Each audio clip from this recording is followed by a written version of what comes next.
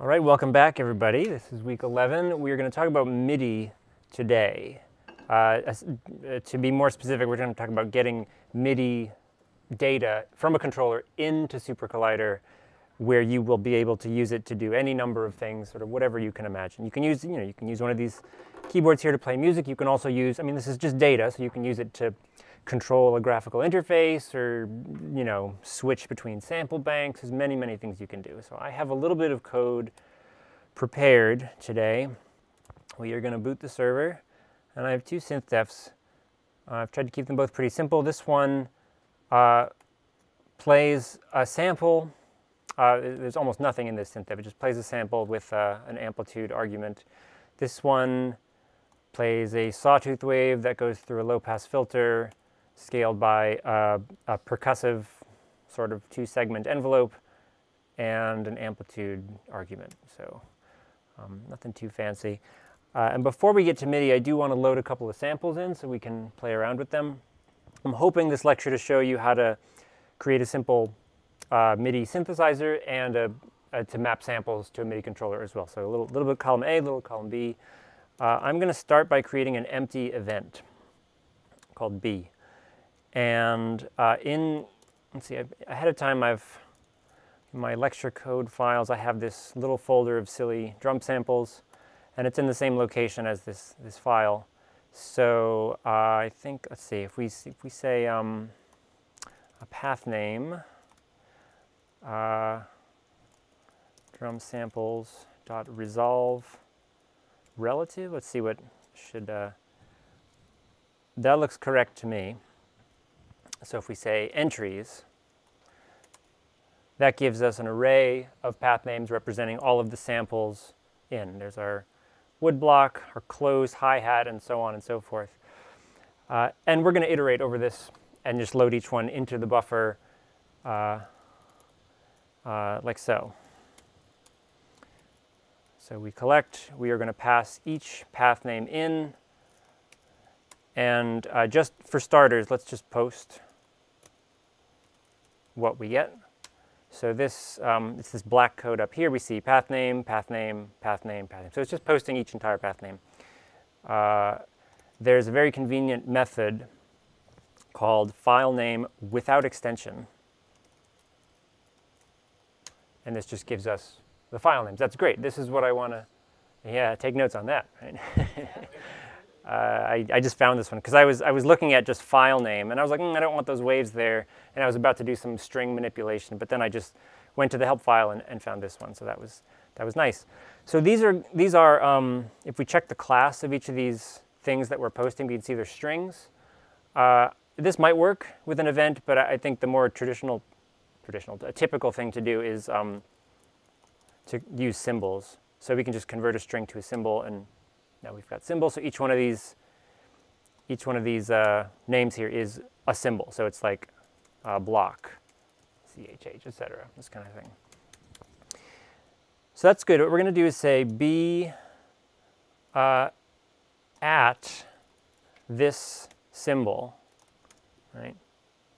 So B, we have this empty event B. We're going to say as we iterate over these path names, we're going to uh, create a new um, symbol index in this event. And at that index, we're going to store uh, a new buffer.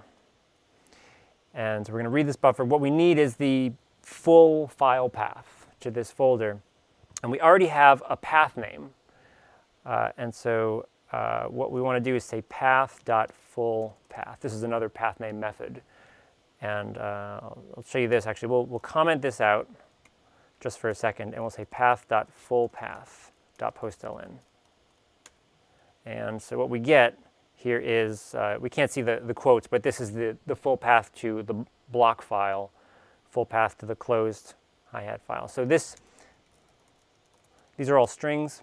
So this is exactly what we want, as we've seen many times before. So this uh, loads all these buffers. So now if we say b.keys, we see it's, um, these are the symbols in our event B. So we can say b dot tom2, that's a buffer, not play. We got that.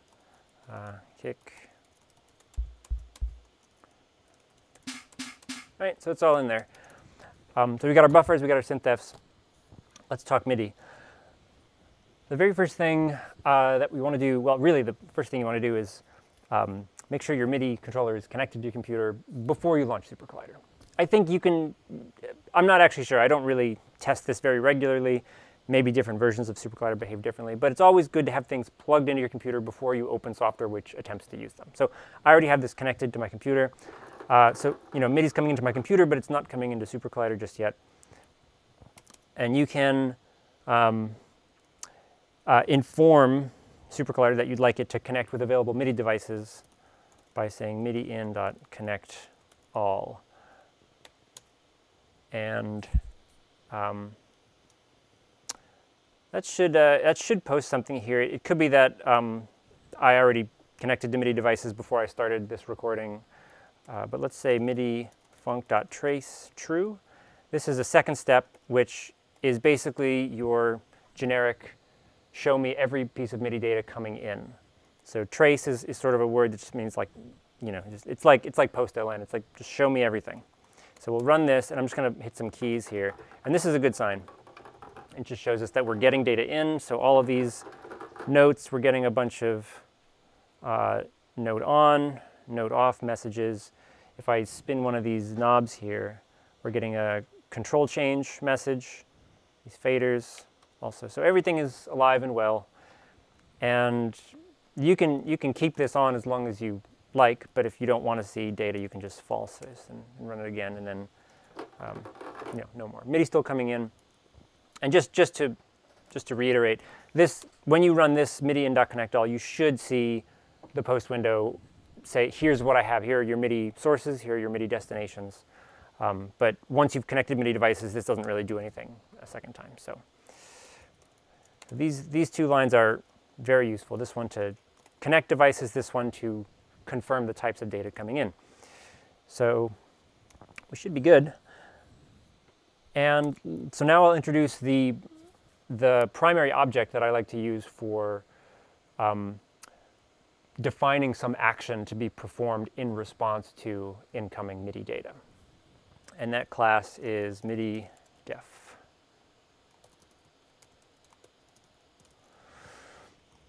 So the way we create a MIDI def is not with new. I think this is technically possible, but uh, the creation method uh, we use is based on the type of message that we'd like to respond to. So there are a couple of options. Uh, I don't want to do that Let's put that there.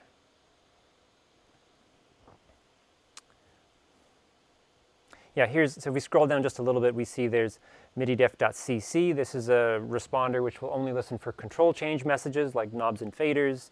This will only listen to note on messages, note off messages.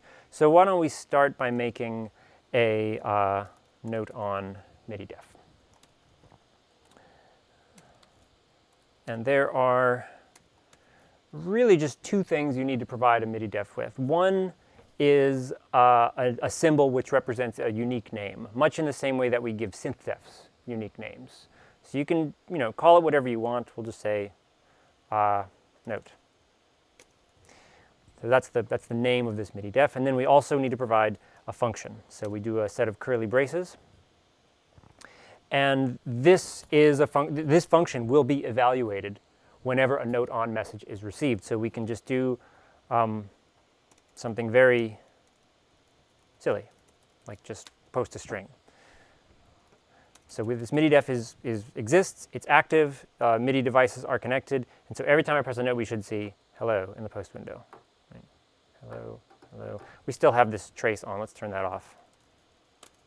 Clear the post window, give ourselves more room. That's all there is to it. You press a note, you get hello. Uh, almost always, we want to, uh, MIDI data to do something which is dependent on the data that comes in. When we press middle C, we want to hear a certain pitch. When we press C sharp, we want to hear a different pitch. So this one's not so good because it just does the same thing every time. I mean, we, we could do something. Let's, let's go one step further and we'll say, let's make a, a sawtooth wave. Um, let me just make sure I remember how this is working. I mean, just make sure it works, I guess. So freq, I don't know, 200. Yeah. Great. So we can say the default sounds like this. So if we just run this, then every note will make that exact sound. Hmm, working, but how do we get the data into this function? We declare arguments.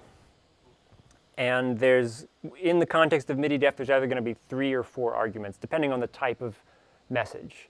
Uh, this, is, this is because some uh, channel voice messages include uh, uh, two, two values. Like, for example, note on messages, there's two pieces of data that's carried. There's the note number and the velocity. Yeah, control change messages have a controller number and a controller value, but something like a program change message, that only has the program number attached to it. So um, in the case of note on, note off, and control change, we want four arguments. And you can name them whatever you want, but they will be always interpreted in the same order. So the first one is the value or velocity or just the, that one. Then we have the number, which is going to be either the note number or the controller number. Uh, the channel, the MIDI channel on which the message is carried, and uh, the something called the source ID, which is like a unique identifier for a particular physical device. And we'll comment out the saw for a second, and I'm just going to post all of these. So this is like I'm making my own MIDIFunc trace true here. I'm just, this MIDI doesn't make any sound. It's just going to show us exactly what comes in. So I'm holding down this C. I thought it was middle C, but I guess I have the octave transposed down because it's note number 48. Velocity 67, channel 0, which we humans refer to as channel 1. And then we have this complicated uh, source ID. So I'll press the B below it, 47, 46, 45, right? Try to get a high velocity. So we can really mash the keys, we get 127. And very quiet, we can get really low velocities. So this isn't changing, this isn't changing. So these, these really aren't going to be too useful for us. Maybe there's a situation where you want the channel or source ID. You really only need the source ID if you have two identical messages coming from different devices and you want to distinguish between them. So we don't really need that. We're not really interested in channel at the moment, so we don't even really have to define these. Um, we can just, you know, only declare the ones that we want. And now we just have velocity and no number. so then uh, to make sound with these pieces of data, well, I've given myself uh, a frequency argument and an amplitude argument. And these are the most, this is sort of the simplest way to map the data in a way that makes musical sense and kind of generally follows what we expect. So let's do, uh, so the frequency is going to be num dot MIDI CPS. Easy, right? Because if we have 60 MIDI CPS, that gives us the frequency for middle C, 61, 62. So no need to do the math ourselves. We have a method. Um, and amp is going to be, well, the velocity is 0 to 127. So we don't want to plug those in as is, right? because an amplitude of 127 is gonna gonna be yeah yeah yeah. One is our limit here. So how do we how do we get that? This is what kind of divide by 127 right.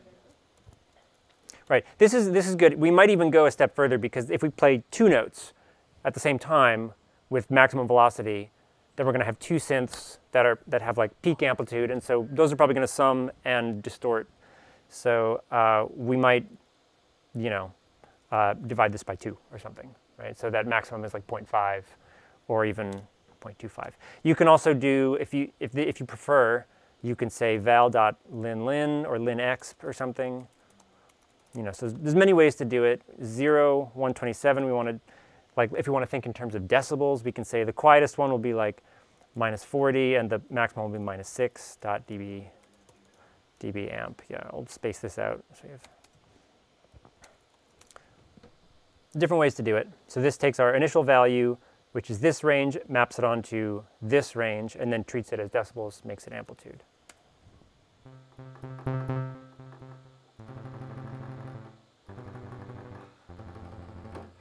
So it's working. We can do our octave buttons. This has a fixed cutoff frequency in the low pass filter of 1500, so really high notes are going to be pretty aggressively filtered, but low notes will, most of that spectrum will pass through the filter. We'll mess around with this later, I think, but that's um, that's sort of the idea. Uh, I was on the fence about uh, including um, uh, note offs in this lecture. The main reason I, am leaning towards not doing it is because I've done it many times in the past. Tutorial 9 is a good place uh, to go, and basically the MIDI lecture for any previous fall class. Uh, I think I also do the same things, like a very good chance you'll see that. So I'll just give you the, the gist of it. Um, the, you know, we can't just, uh, you know, basically we need to keep track of all of the synths that currently exist. We, the first step would be we, we change this envelope to be something that sustains uh, with a, you know, an envelope with a gate like an ADSR. And it, the note on would create the synth and set the gate to one, and it's going to expect a corresponding note off message to release that envelope. So this kind of approach would just not work because we're, we're just making a synth, not storing it anywhere, not giving it a name, and so there's no way to address it later. So we, we need to actually store this in a variable, but we can't just say like x equals synth because, uh, and then have the note on say x dot set because the problem is if we play a note, hold it down, x is that synth. Then if we continue holding that and press another note, then we make another synth called x. And, and, it, and that language side reference overwrites the first one. And so then when we release that second note, that'll fade out, but then the first one is a stuck note because we, we can't talk to it anymore. So the approach I use is we create an array uh, of size 128, right? Uh, so this just gives us a, an array of size 128, and it's all it's empty, but it has 128 spots. And each synth gets stored at the note number, right? Because you can't press down a key and then press it down again without releasing it first. So this gives every node its own private cubby in which it can live. And so then the note off MIDI def will say notes at num dot set gate zero. And this is, uh, that's a pretty good starting point for a polyphonic synthesizer where you can arbitrarily sustain notes. So that's, um, we'll copy this and just, you know, go back to our, our first version just so it's in, in the notes here. But that's the, uh, that's the idea if you want to do polyphony. Uh, okay, so let's, let's get um, one of these to do something, right? And I, that's why I put a filter in the synth def, Because right now it is fixed at 1500, but I'd like to be able to control that with a knob. Uh, and in, I'm, I'm switching tack here. I, I used to do this by creating a language side variable like CF uh, and just storing the value of the knob in here. But there's a better way, I think, is that, that is to write the value directly to a control bus on the server and then have synths read from that bus. So we'll, we'll do it that way. If you want to see the language side variable version, again, you can look at previous videos. But uh, I think this way is slightly better for a couple of different reasons. so let's make, uh, first things first, a bus. Uh, see, so cutoff frequency bus is bus.control one channel. Here we go, okay? And now we're going to make a MIDI def that responds to control messages because that is what these knobs send. Let's see this, this knob uh, on the bottom left here. Right? So it's controller number 26, and as you turn the knob, it goes from 0 to 127. Okay? So that's the one we're going to use.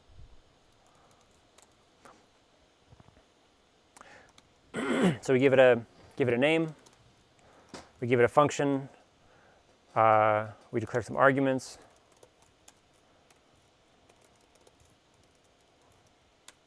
So this, again, just kind of print those numbers.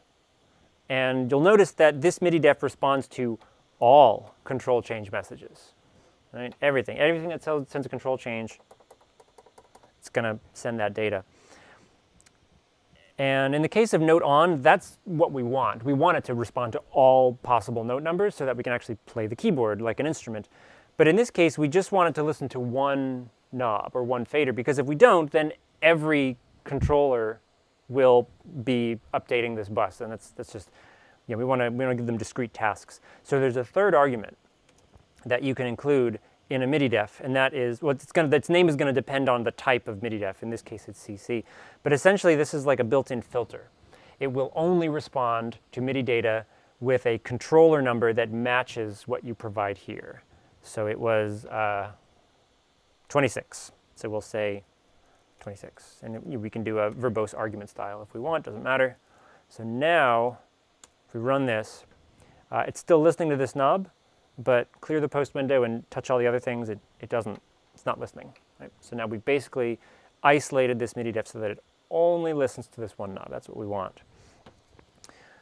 Uh, oh, you can also uh, make this an array and give it a couple of different values, and as long as it matches one of the items in the array, it'll perform its function.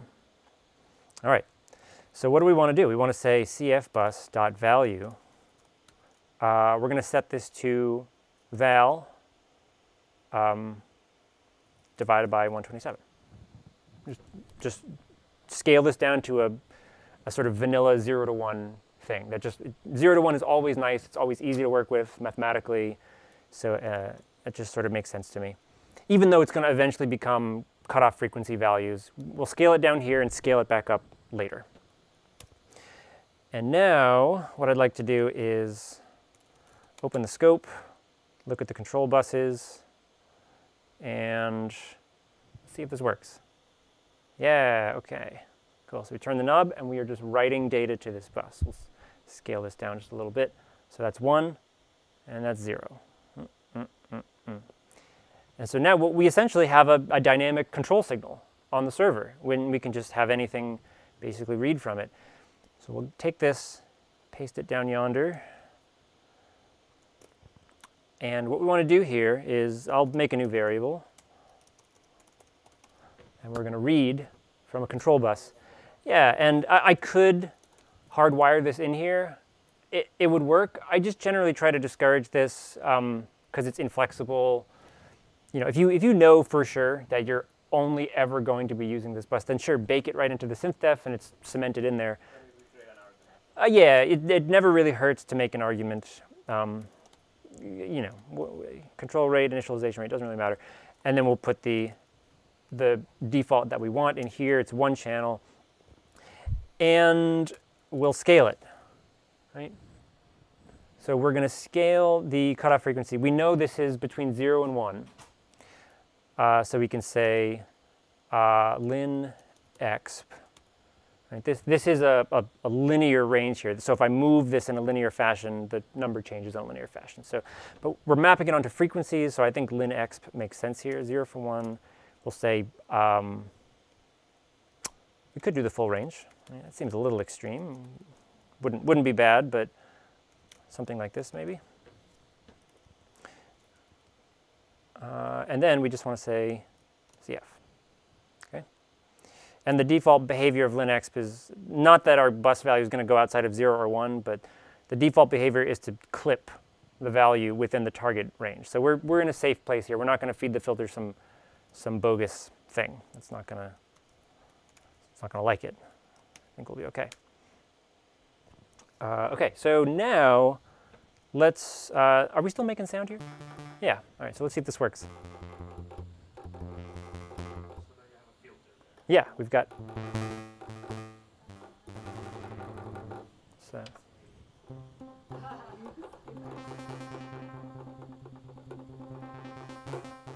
Yeah, kind of awkward here with this camera blocking my access, but um, it works. And what's nice about this compared to the language side variable approach. Like if we, the, the difference would be instead of doing this, we would say CF equals, you know, whatever, it's just, just some language side variable, um, val over 127 or map it however. When we do this, we would have to um, change our note on synth def so that when the synth is created, uh, actually this one here, we would also have to say and by the way, the setup frequency is cf.linlin, whatever. So we'd have to, this would make it so that when synths are created, they have the proper value.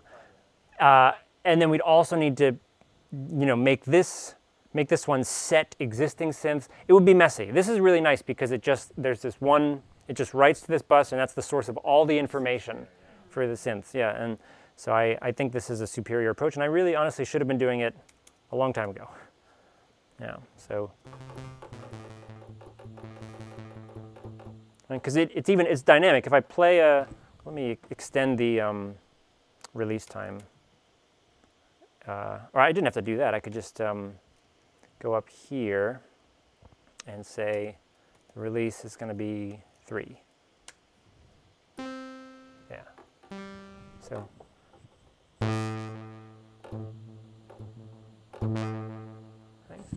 So it's, it's just, it just works intuitively, very easy. And from here, you could do things like make uh, other arguments in your synthdef and other control values to control different parameters. Um, let me just show you one example of uh, using, uh, let me see if I can adjust this. I want to be able to look at the uh, mod wheel down here. And so this, this is the mod wheel. It, it's the one that doesn't snap back to center. Uh, uh, so we, we, right now everything is active. And if we wanted to uh, just disable that for a second, we could say MIDI def, uh, what's the name of it? Note, disable. So it just turns it off. We can enable it. And it works again. This is maybe useful if you want to switch back and forth between two MIDI defs. You can disable one, enable the other, instead of having to like I don't know, do something more complicated. But we can, let's, let's use the mod wheel to do this automatically. We can like flip this up, it's enabled, flip this down, it's disabled, just to give you a, a sort of generic example of the fact that MIDI can do whatever you want. It doesn't have to make sound or whatever. Uh, so we will say um, MIDI def CC. I mean, if you, if you wanted to, I mean, I happen to know that the mod wheel sends controller number one, but you can do this and just move it around. So that's controller number one, zero at the bottom, 127 at the top.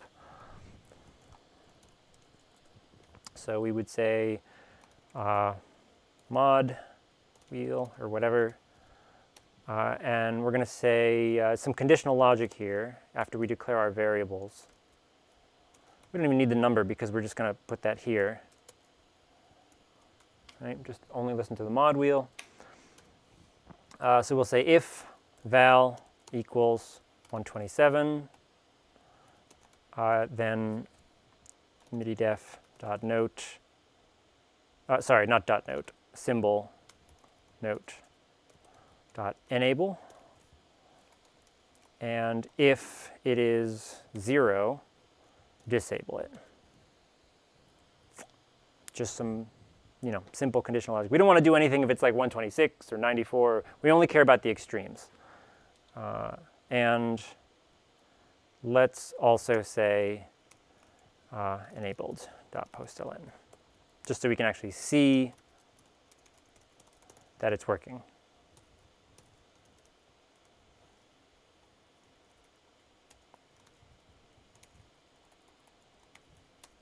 Okay, so enabled, disabled, enabled, disabled, enabled. And then we'll just turn it off, and now it doesn't do anything. Everything's still working, right? It's, it's just not listening to MIDI. So, mm -hmm, mm -hmm, right? Very fun.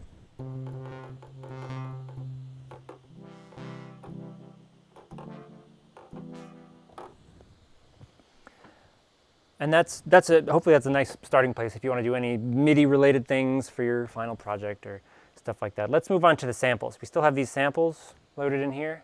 So I'm going to start fresh and just wipe away all the MIDI defs. This is, you've seen s.freeall perhaps, or just getting all the stuff off the server. So freeall works for MIDI def too. It just says any MIDI defs out there, they're gone. So now we don't see enable disable anymore. No sound. The bus is not being updated. It's all, it's all gone. But I think we still have these. Uh, just, uh, let's say synth samp buff b dot kick amp 0.5. Good. Now what I want to do is map these samples to some keys. And I have nine samples. Uh, maybe I won't do all of them. You'll get the idea once we get started. Uh, so since I want to be able to play notes and hear samples, we're going to use a MIDI-def.note on. That's the kind of uh, data that we're working with here.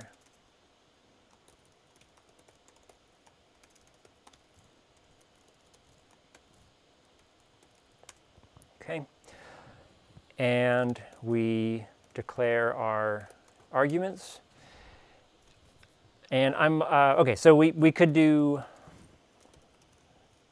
something like this, just like we did before. And each one of them plays the kick, but we want to somehow use the note number to pick the sample, right? We want to say like, okay, if I play this B down here, play the kick, and this E, play the snare. Let's see what those numbers are, first of all. So let's see, I'm going to go down to one octave, 35 and 40. Okay, 35, 40. How do we do that? How, you know, what, what needs to go in here to convert numbers to specific samples? Any ideas?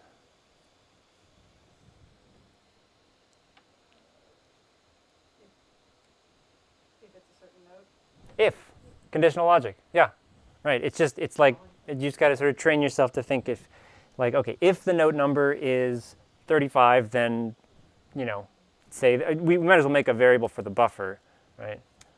Uh, it doesn't, we can call it buff if we want to just giving it a slightly different name from the argument. Uh, so buffer, and we can say uh, if um, num equals 35, then buffer equals b dot kick. Right? And if number equals 40, snare, and then this is just going to be buffer. Yeah. So this we can improve on this, but this is a start. Right? So now, uh, so that works, but these are all something else. because it uh, buffer is nil, and neither of these conditional checks are going to, you know, uh, set, do anything. So we're just providing nil here, and and that I guess defaults to whatever the buffer with index. You know, it's something is turning that into a zero somewhere because I think that is the the default. Yeah, the first one.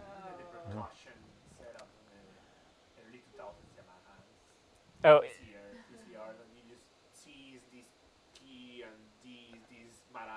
Yeah. Yeah, yeah. I'm, I'm trying to I'm trying to follow the general MIDI thing. So like this is the hi hat and this is the open hi hat or whatever. So there, let me introduce. Uh, this is in chapter one in the book, but I'll, I'll just revisit it here. If you if you have a lot of possible conditions, it's it's messy to do if. I mean, it's it's time consuming to do if, and you definitely don't want to start doing nested ifs. You know, like if otherwise, then do another if, and ooh, that's that's not good. I mean, it's it works, but it's just messy. So um, there is uh, a conditional, a control structure called switch. There's two actually. There's one called case and one called switch. They're pretty, pretty similar. But switch, um, you give it um, a, an input value, and it's going to be the note number. And switch is going to check for equality with various, you know, it's, going to, and, each one of these checks, the other side of the, you know, equality check is going to be some, uh, some value. And uh, so like something like this.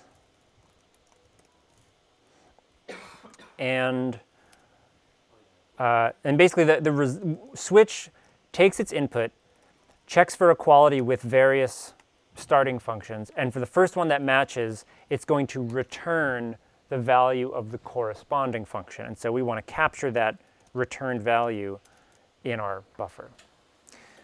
Uh, and then uh, if uh, it, I think it makes sense to add something at the very end, which is always true. Can you think of anything which is always true? That it is a note on. Uh, yes, that's true, but I don't think we can actually access the fact that it's a note on. I was just thinking like 1 equals 1 or something. You know, this is always true. Or you can just say true. True is always true. yeah, and then we'll say um, just nil. I think, I think we'll get nil anyway. But then here we can say if uh, buffer dot not nil, right? I'm saying only if buffer has been given a value, then play the sample. Yeah. So uh, now if we do this, uh, something happened. Is that still? Yes, that is why. Thank you. Buffer, not nil, yeah. These don't do anything. Because here, uh, we could even uh, post buffer, you know? So like, uh, buffer.bufnum. Right, those are the indices, and this one is, a, you know, nil, not working because nil doesn't have a bufnum. Anyway, so we could add a few more. We can say uh, 42 is going to be our closed hi-hat. 46 is going to be our open hi-hat. And uh, 41 and 43, tom 2, tom 1.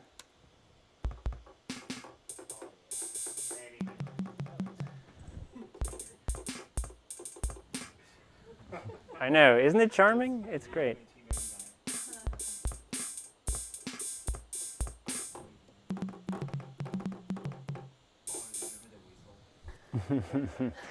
yeah, so whatever, any pack of samples you have, you can map them this way.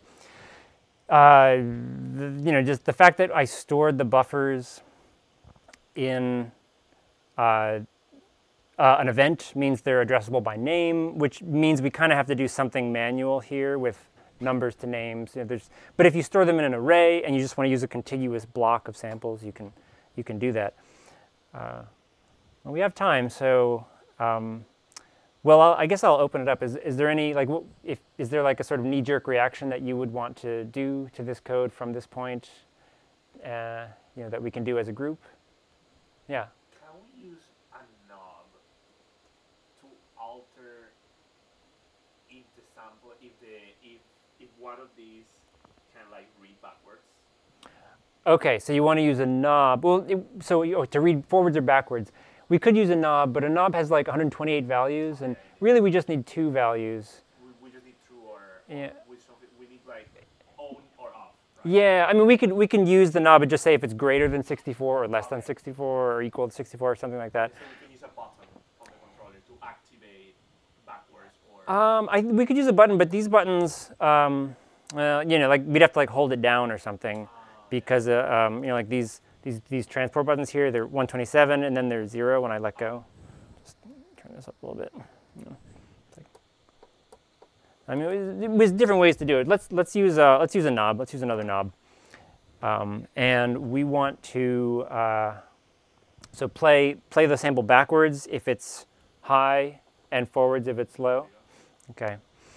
Uh, all right. We'll, we'll give that a try. Um, let's see. Uh, so the direction, and this is number 20. It's this, this knob right here. I'm trying to remember the upper left knob here. Uh, so that'll be 22 range. And so let's make another make another bus. Why not? Uh,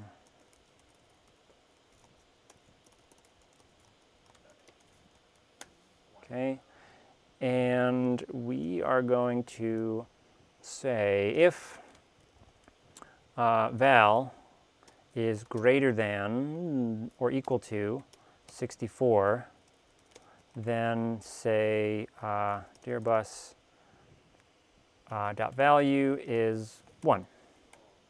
Otherwise, right, minus 1. Yeah, yeah. There we go. Negative 1, positive 1, negative 1, positive 1. Uh, we do have to do a little bit more magic with uh, our synthdef. So we'll copy the synthdef, bring it down here, make a new version.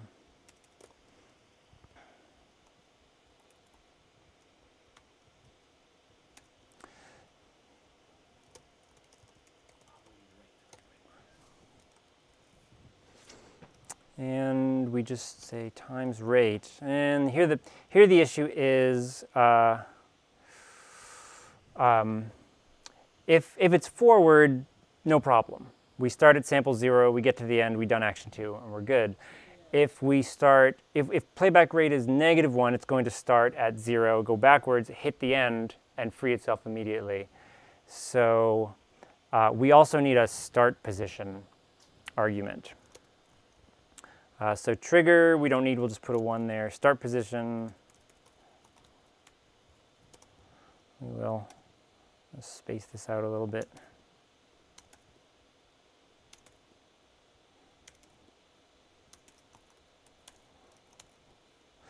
All right. Um, so now we can say uh, uh, open hi-hat and if we say start position is B OHH dot num frames minus one and rate is negative one. Uh, num, I can't spell. And, uh, oh, I think we need to do, yeah. We need to, because this is actually the last frame. The one with, um, because frames start at count zero. So if you have 20 frames, the last one has index 19. So we actually have to go one further back. So, all right, let's, let's keep this up here. And then we'll go ahead and, uh, this is still working, right? Good.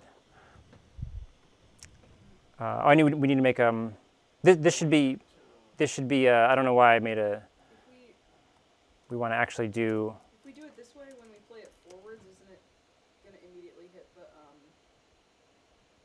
no, we're, we're going to specify both of these things depending on the, uh, on the, uh, yeah, I think this is, this is a little bit trickier than, maybe this is just trickier using a bus, I don't know. But uh, um, in.kr, I'm to read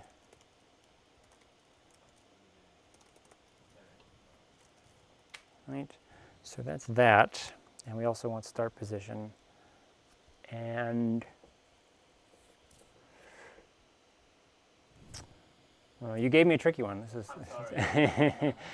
uh, all right. So.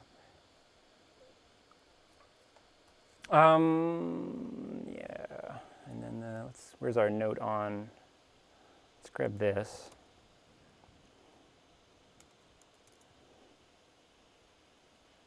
and just copy this, I guess. Just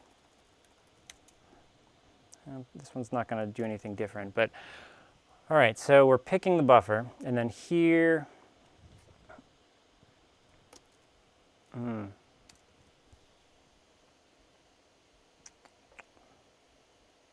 Okay, so the rate is the rate is good. We just need this this thing to be uh, determined. All right, so we'll do, I'll, this is the quickest thing that comes to mind. Yeah. Um, so select takes uh,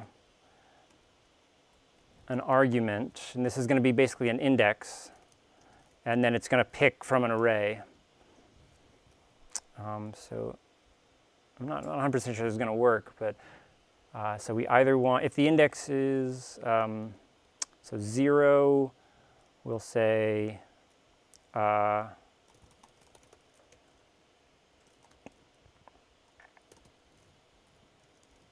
that, or if it's 1, we'll say 0. So this is the frame we want if we're going backwards. This is the frame we want if we're going forwards. And this is going to be uh, is rate uh, is this what we want? can we just map rate using like a one? I think so, yeah, but um, let's see.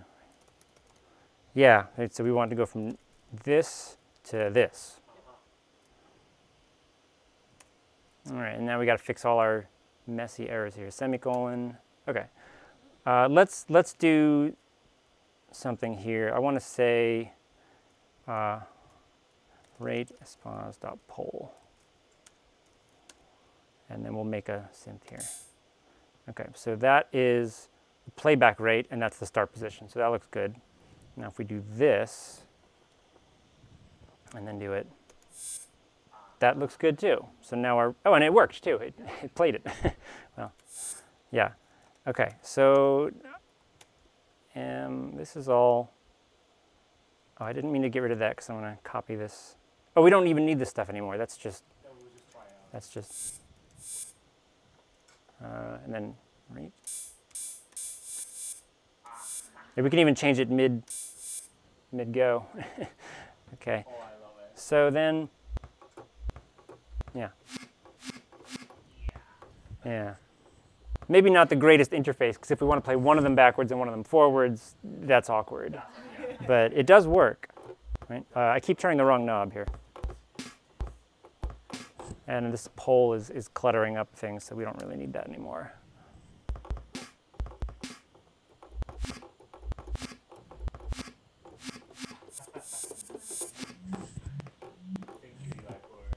Yeah. Yeah, all right, no problem. Um, many other things you can do.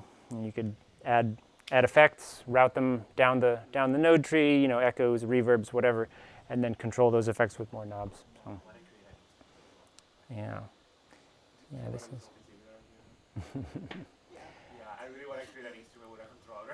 yeah. No, it's fun. That that makes a makes a very a very acceptable final project if you want some some sort of live performance MIDI based thing. So anyway, that's MIDI in a nutshell. There's not much more to it than that. You know, you just you connect your devices, right?